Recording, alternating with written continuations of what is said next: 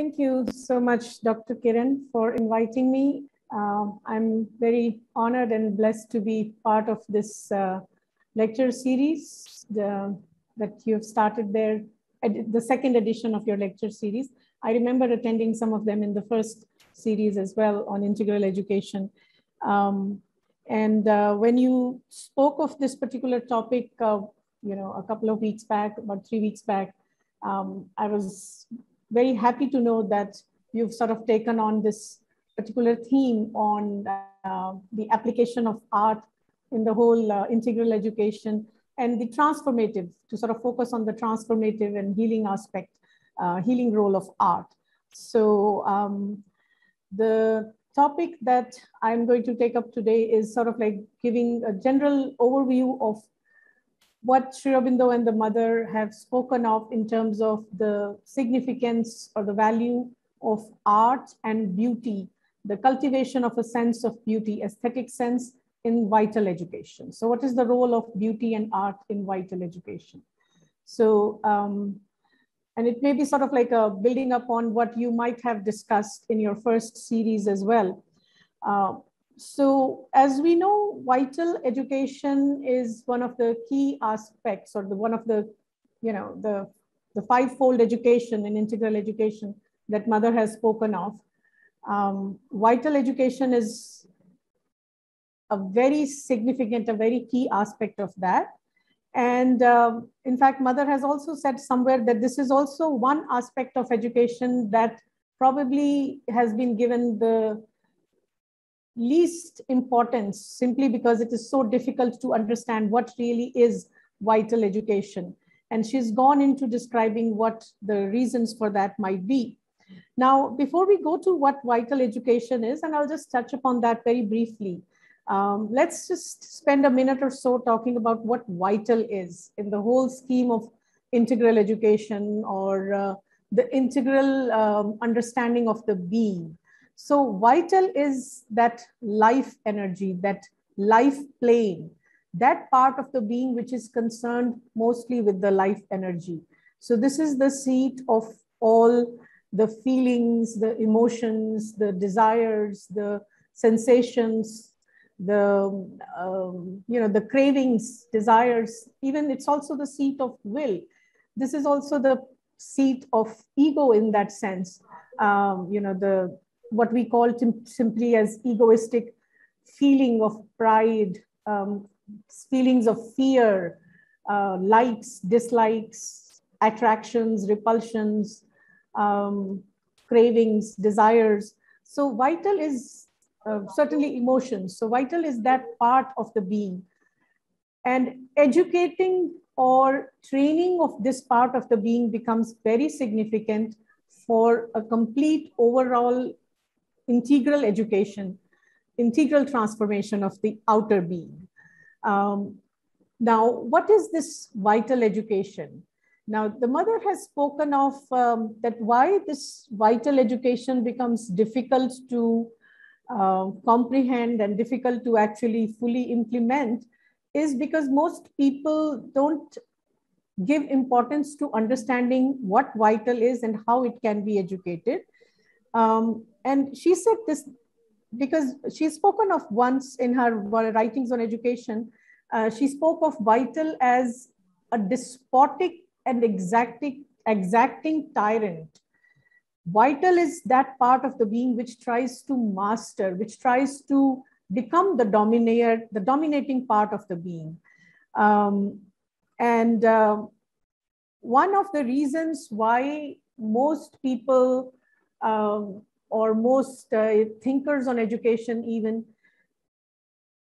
do not completely value the need to educate this part is because of an assumption which is probably a you know like a misinterpretation of a profound truth or a misapplication of a profound truth or even like a distortion of a profound truth is that assumption is that the aim in life is to be happy this is sort of a misconception that most people have about uh, life and its aim.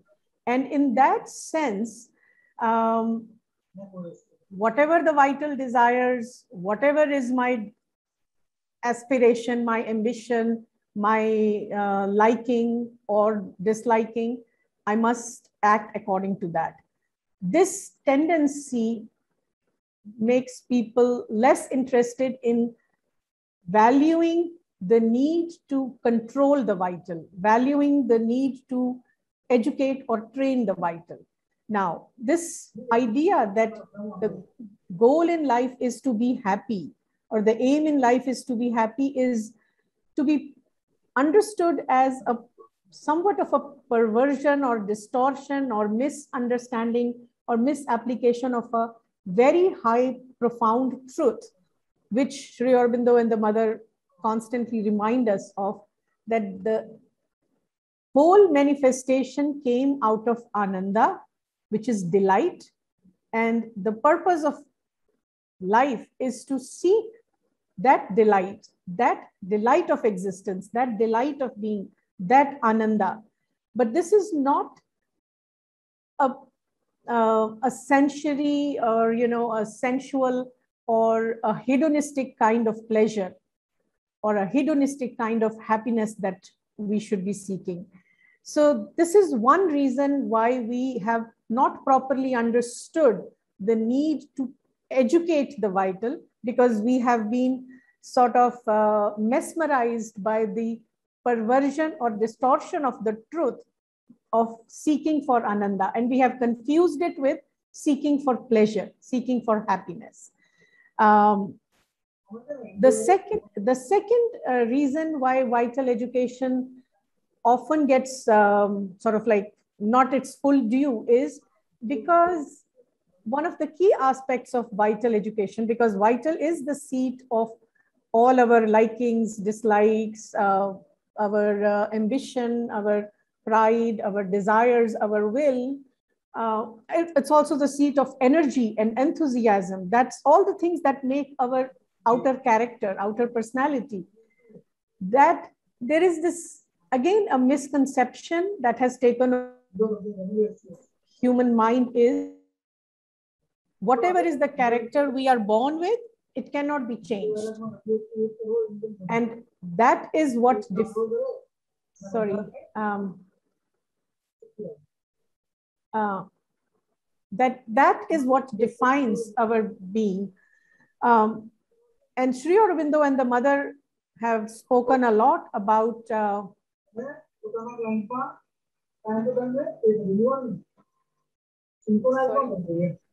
uh, should I should I um, just should I can? Uh, Manish bhai, there is a disturbance there. Please uh, make sure uh, there should not be disturbance.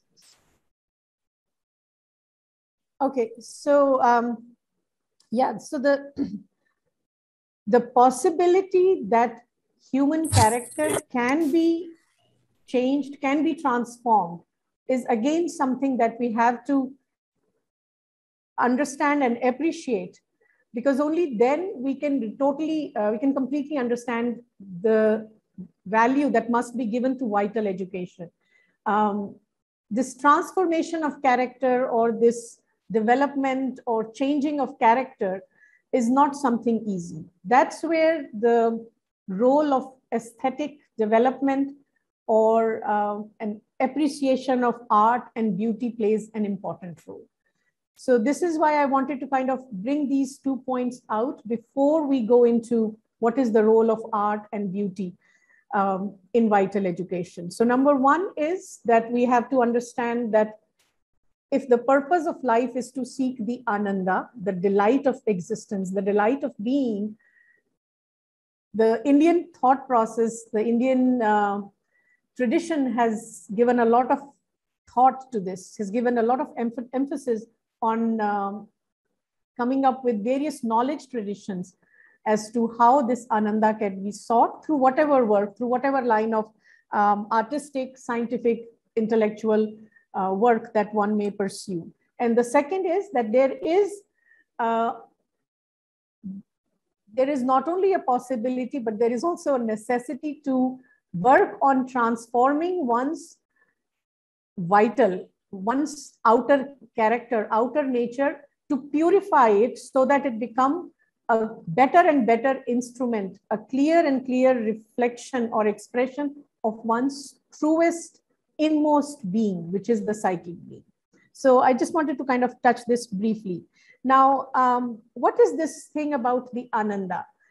Let me begin with a short little um, anecdote from um, a conversation that Nirod Baran had once with Sri Aurobindo. Um, you know, Nirodha was one of the closest uh, um, disciples of Sri Aurobindo and also his scribe who, uh, you know, like who wrote uh, down as Sri Aurobindo was kind of receiving Savitri in the last few years um, of his physical um, presence the, on the earth.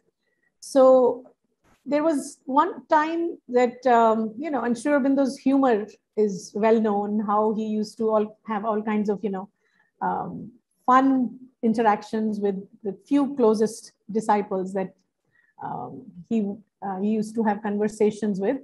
Um, and at one point, Nirodha asked him that, from where do you get all this wonderful sense of humor with which you delight us so much? And Sri Aurobindo just gave a characteristic, simple, white smile and said, Raso vai sah. Verily, all is delight. So I thought this would be a good starting point for us to explore the ananda, the beauty. So I'm just going to share a few pictures here, few slides to uh, emphasize this idea of beauty and art in vital education. So uh, I hope this is visible now. Verily, he is the delight. So this is what Indian um, tradition has spoken of, that supreme is essentially delight. And so the highest supreme, the highest conception that we have of the supreme being, the supreme consciousness in our culture is of Sachidananda. Sat Chit Ananda. Consciousness. Sat is existence, Chit is consciousness, and Ananda, bliss or delight. So, beauty, as Dr. Kiran was saying uh, in the introductory um, words, beauty is nothing but Ananda that takes form on the physical plane, on in the manifestation. But this beauty need not take a physical form in its on its own. It could be, as she was reading out the passage from the mother, beauty could be beauty of sentiment, beauty of thought, beauty of action, beauty of movement, beauty in stillness, beauty of will. Everything can be approached with a sense of beauty. In the Indian tradition, uh, beauty is closely aligned with delight. So and harmony. These two aspects of beauty play an important role when we understand how beauty is understood in the uh, Indian tradition. And in fact, in Indian thought, the whole of manifestation is seen simply as a manifestation of beauty, an expression of a beautiful dance of Shiva and Shakti. So uh, the whole creation comes out of a sense of an artistic and aesthetic um, delight.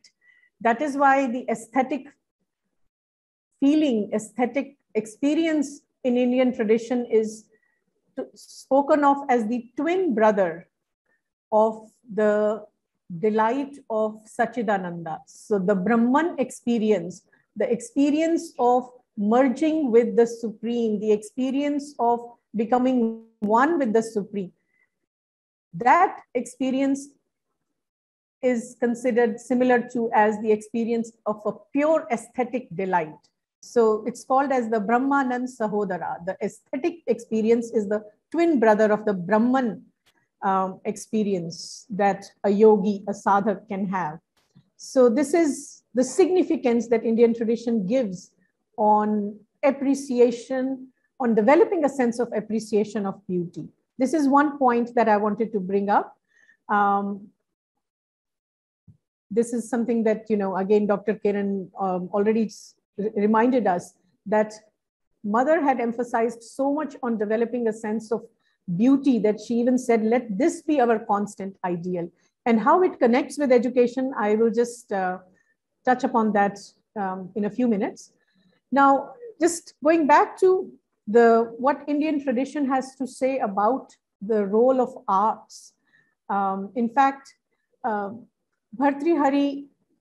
had spoken of once that um, one who does not have an appreciation or even a basic general understanding or knowledge or a sense of um, appreciation for arts, sahitya, that is literature, music, sangeet, poetry, if one does not have an appreciation of these things, one is as good as an animal.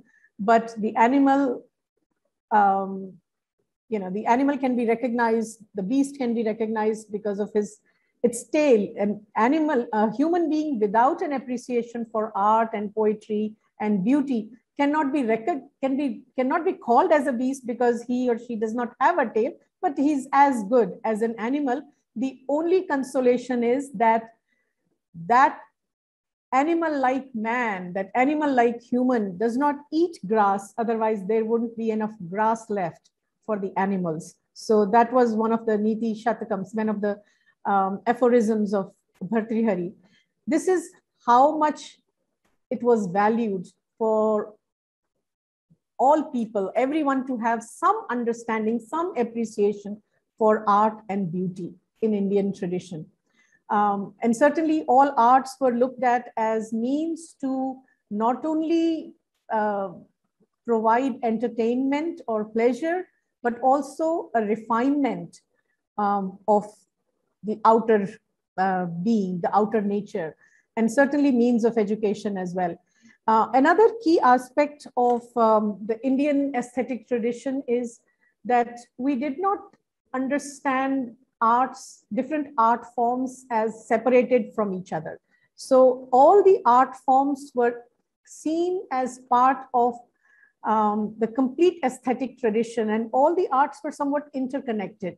That's why uh, when we, um, you know, like for example, when we go to some of the older temples in today, we see that they would also have a Natya Mandap, uh, which is the place for performing arts. They would also have uh, on their walls a lot of murals painted. So the painting tradition was also, the painting as an art form was also uh, considered an integral part of the entire artistic tradition.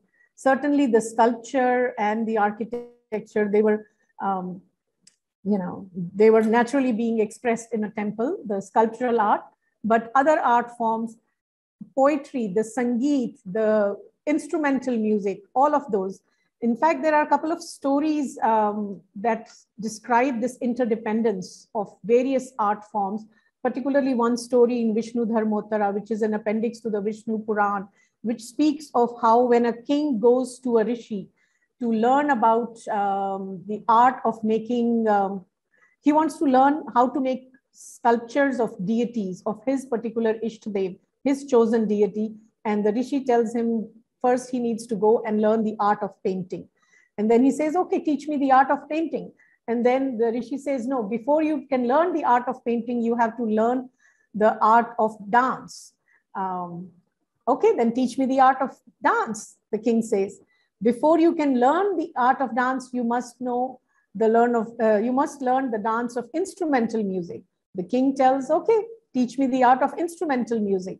And then the reply comes, but you first must know the art of singing. Sure, I will learn the art of singing first. But before that, you must have a well, you must have an appreciation or an understanding or knowledge of poetry, knowledge of prose.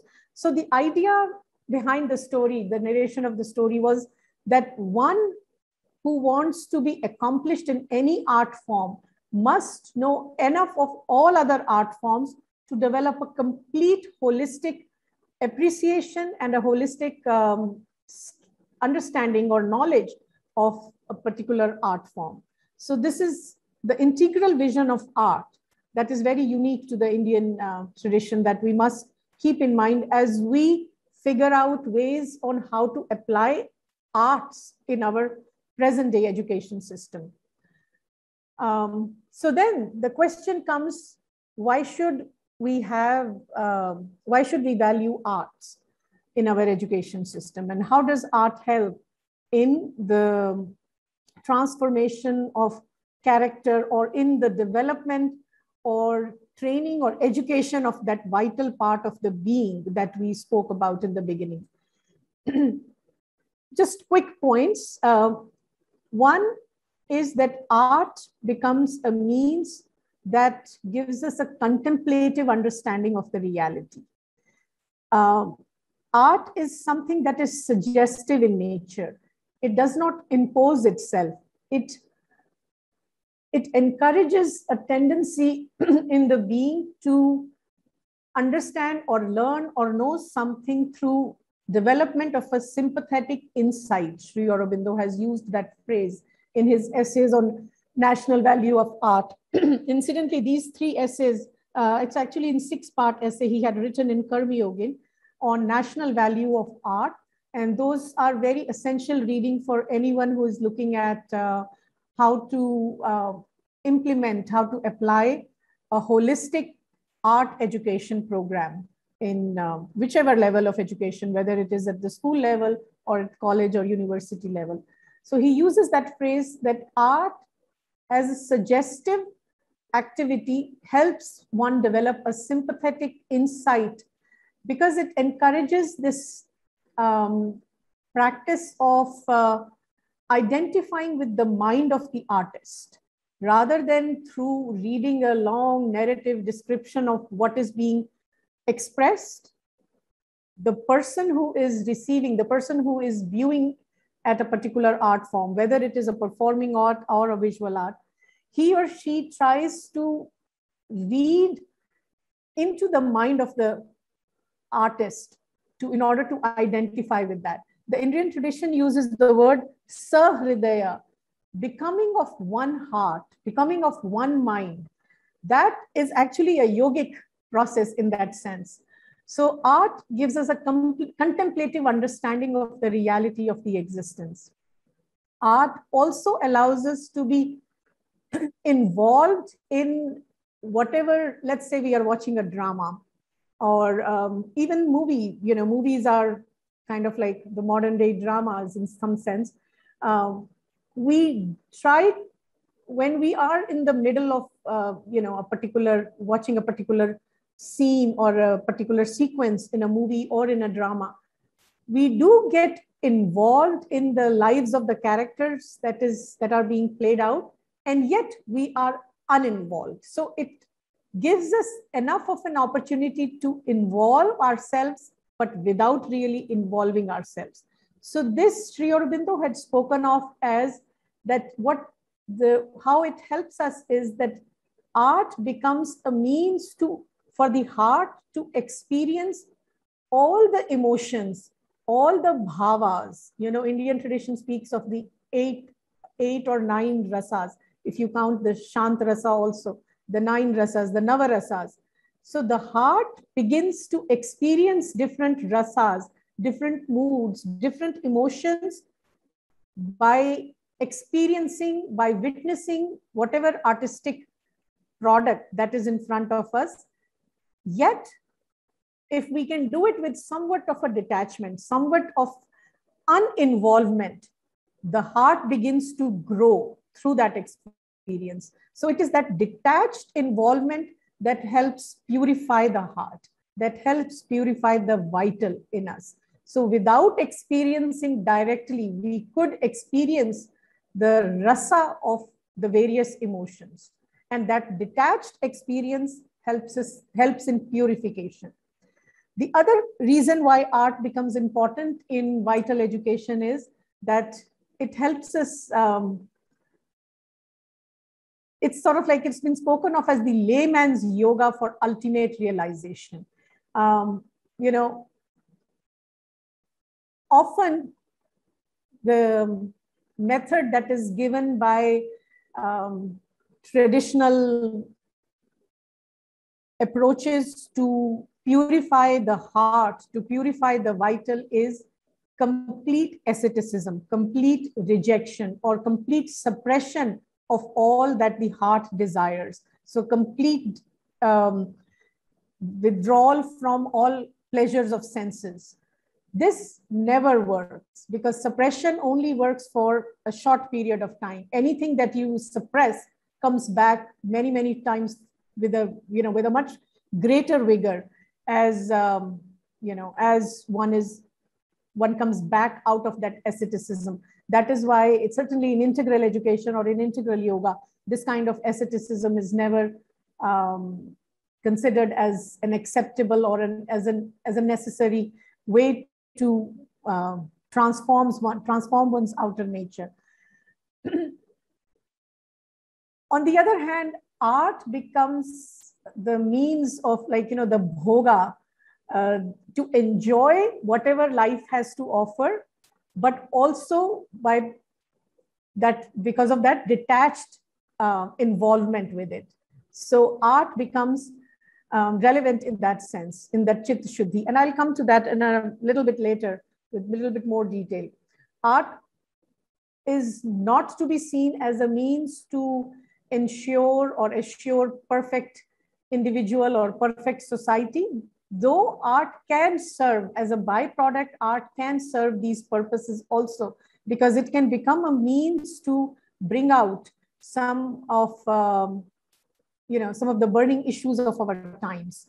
So um, in fact, when we look at Natya Shastra, we find that one of the reasons, one of the goals that was given for drama in Natya Shastra was to educate the audience about the existing customs, existing practices, and also to, um, in a entertaining sort of way, to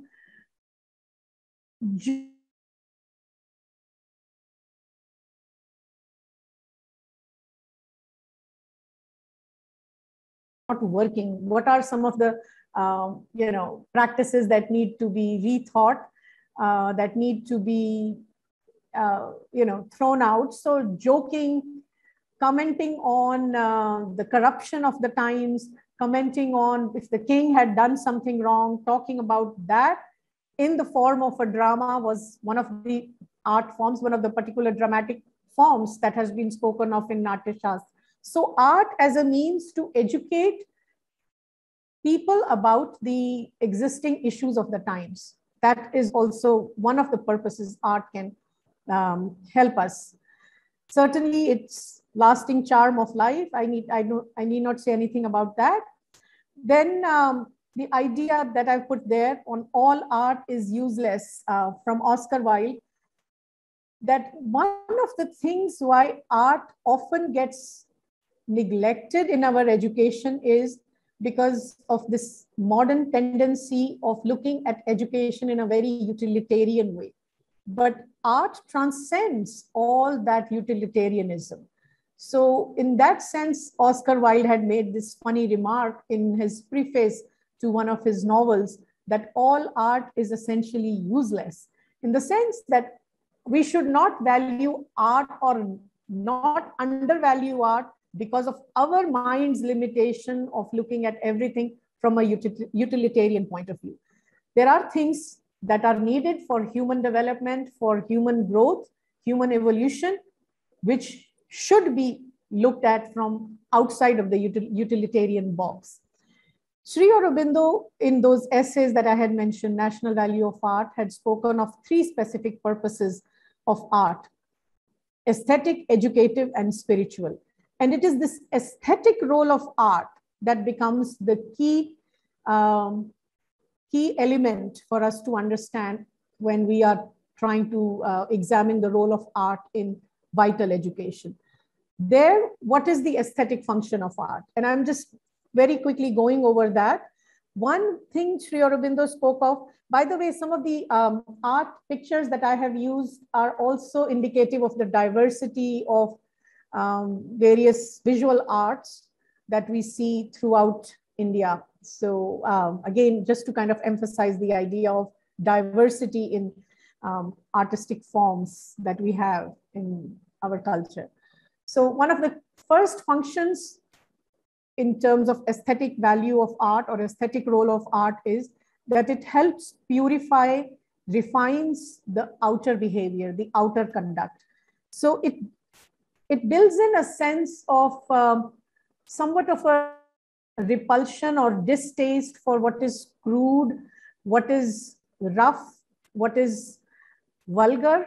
Um, and the one who has been given enough exposure to what is beautiful, what is harmonious, what is refined, naturally does not want to behave in a way that is somewhat crude, and coarse and vulgar. So this seeking for what is beautiful, what is decent, what is harmonious, it naturally creates an outer sense of beautiful outer behavior. The limitation of this is, or the danger or the obverse side of this is that it can also very quickly degenerate into this tendency that only the outer behavior is important. So we could be very, we could very quickly um, attach ourselves to the outer forms. So like table manners, for example, you know, just to behave, look good, to behave properly, you know, so the proper ladylike behavior or the proper gentlemanly-like behavior. Um, so it can degenerate into just focusing on the outer conduct, the outer behavior. And yet Sri Aurobindo says, this is the first, this is the beginning of how human nature begins to throw off the yoke of animality from itself. So this is important in that sense. Um, but this is not the all the aesthetic function that art fulfills. The second aspect, the second aesthetic function of art is that a sense of beauty, a sense of um, harmonious beauty aligns very naturally with a sense of what is virtuous, what is good. So that's why in India we have this, uh, you know, this dictum of Satyam Shivam Sundaram, the Shivam and the Sundaram, what is good and what is beautiful. So the good and beauty, beautiful, begin to somewhat naturally align themselves. Um, so our sense of virtue, our sense of purity is aligned, naturally aligned with what is beautiful, what is harmonious, and our sense of what is sinful, what is vice, is that what is ugly. Again, there is a limitation for this. This is why Sri Aurobindo becomes so relevant in understanding the role of art in vital education, because he'll tell you the limits of each function that art can provide. The limitation of this particular function of art becomes is that there is, you know, in its extreme, it becomes like um, all that is beautiful is good and all that is ugly is sinful, is vicious, is something to be rejected. So naturally, it, there, is, there is a danger of ethical pursuit of life and aesthetic pursuit of life coming into contradiction with each other. So the ethics that are concerned, concerned with what is right, what is good, begin to have a, some sort of a revolt or a protest against the aesthetic pursuit, which is the pursuit of beauty, the pursuit of what is harmonious and what is delightful.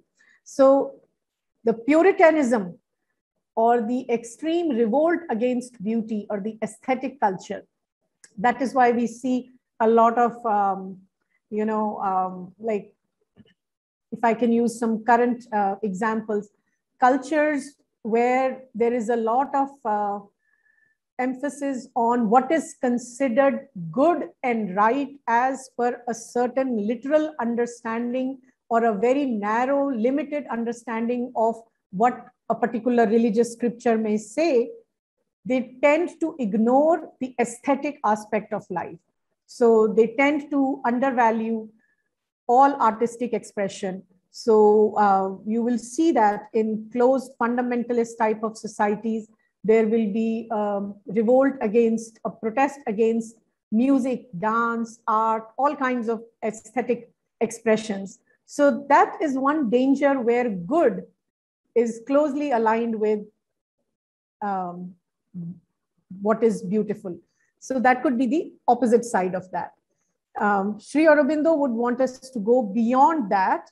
And what he would suggest or what he would emphasize is that the highest aesthetic function then art, that art can perform is the purification of the heart's emotions that I was mentioning a little while ago about for what, when we were discussing why art. Um, so art becomes a means to enjoy those heart's movements, all the feelings, emotions that the vital has in a somewhat of a detached and disinterested, uninvolved sort of way. This is where I think we have to study closely what Natya Shastra, our own dramatic tradition, which was the first, um, we can call it as the first or the primary text of aesthetics in Indian tradition, what that had to say about what was the role of drama. Again, I should emphasize, even though Natya Shastra gave primary importance to Natya, but it never undermined all other art forms. It said that Natya becomes, or the Natak, the drama becomes one art form in which all other art forms are naturally integrated. So the teachings, the, the insights that we get from Natya Shastra are applicable to all art forms in that sense. One of the um, one of the things that we find in Natya Shastra is that it said that the role of drama is not just to tell you about what life is at present, but also to give you an idealistic, to give the audiences an idealistic vision of life, what life can be. So in that sense, drama can become a source of enlightening or educating or elevating the audiences also elevating them in their consciousness. This is what very interesting because in today's time, we see a lot of emphasis on realism in art, especially in modern cinema. Uh, we see a lot of emphasis on that cinema should portray what real life is. In India, we have always had this idea that the purpose of art should be to elevate people, the elevate the audience, elevate the rasik in their consciousness. And for that, they need to be given an image and a vision of how life can be made more beautiful, how life can become more fulfilling, how life can become more harmonious. So that is why there was so much emphasis on the neta, the hero in the story, the hero in our plot, the storyline. So the ideal hero of a drama as per Natya should be one who should have all the ideal qualities. He should be generous, he should be brave, he should be well educated, learned, firm minded, intelligent, vigorous, enthusiastic, generous. You find this in all Indian tradition, whether it is the stories of, uh, you know, Ramayan, Mahabharat, Puranas, or the folk stories, uh, you know, stories in Panchtantra, the Niti Shastras, uh, all these kinds of things. So, you know, or the folk, the oral tales, the one who has all the higher or, or the good qualities of a human being, the higher qualities of what an ideal human being can be, is ultimately the victorious at the end of the story. So, this idealistic vision of art is an important um, aspect when we have to look at how arts can be integrated into education process.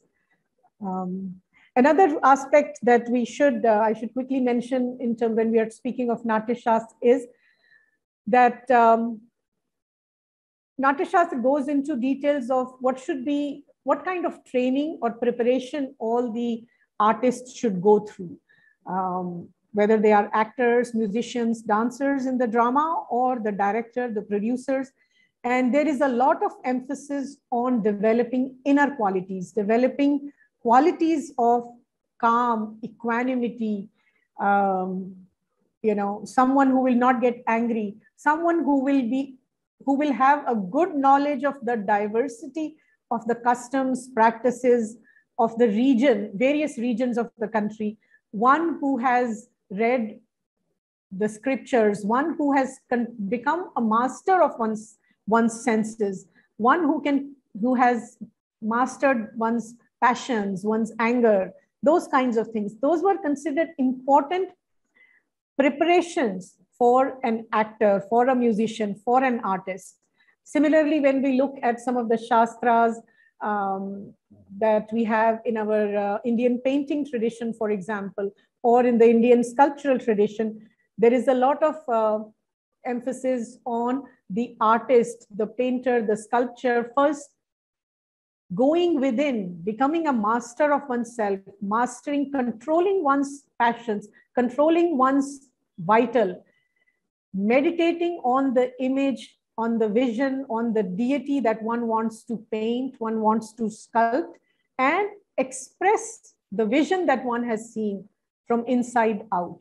So the process of creating art itself could be a means for chitta shuddhi, the purification of the heart's emotion.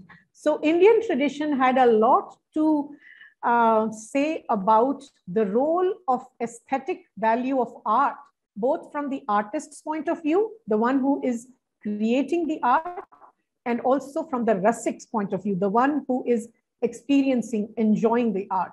So if we can bring some of these things some of these ideas back into our education systems. That will be a great step forward. Um, just to kind of wind up uh, before we to leave so that we'll have some time for any questions. One of the things Sri Aurobindo talked about, and both mother also talked about in her essays on vital education, is that uh, these, this kind of exposure to art and beauty should be started off early on. Um, and as Sri Aurobindo said, that mind becomes profoundly influenced by what it sees. And he, at another place, he says that we cannot bring art galleries to every home. The least we can do is to create beautiful environment around the child, environment around ourselves. So everything that we bring in our homes, it need not be expensive. It need not be a designer, artistic, you know, some masterpiece of some uh, high paid artist. It could be simply a beautiful bunch of flowers.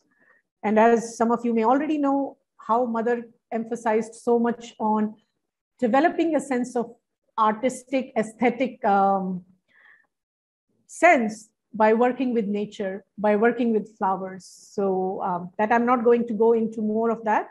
But that's why both Mother and Sri Aurobindo emphasize to create a beautiful environment, a harmonious environment around the learner, around the child, right from early on, so that everything from you know the outer conduct, the outer habits, and the inner character is gradually trained to seek greater and greater sense of beauty and harmony and right order, just arrangement in the life as we as the child grows. So um, I think I'm just uh, I don't know how we are doing in terms of time. Should I stop here and see if there are any questions?